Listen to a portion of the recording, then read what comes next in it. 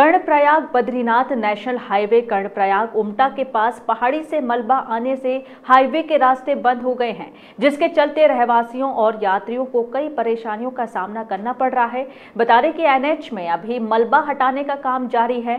साथ ही बता दें कि लगातार हो रही बारिश के चलते जगह जगह भूस्खलन हो रहे हैं, जिसके चलते रास्तों पर वाहनों की लंबी लाइन लगी हुई है। चमोली से नीरज कंडारी की रिपोर्ट।